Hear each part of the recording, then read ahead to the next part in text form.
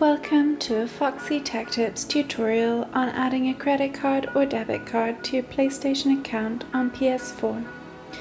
If you find this video helpful, please consider subscribing to my channel and liking the video.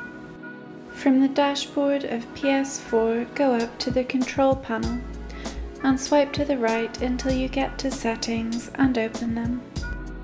In settings, select account management. Next, select account information. On the next page, select wallet.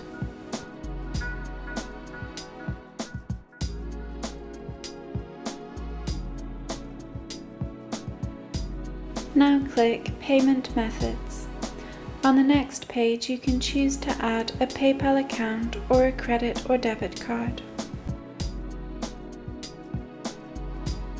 Enter your card information.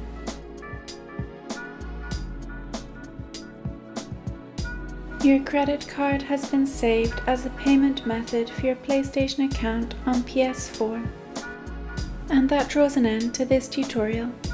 Please like the video if you found it helpful and subscribe to Foxy Tech Tips for more PlayStation tips and tricks.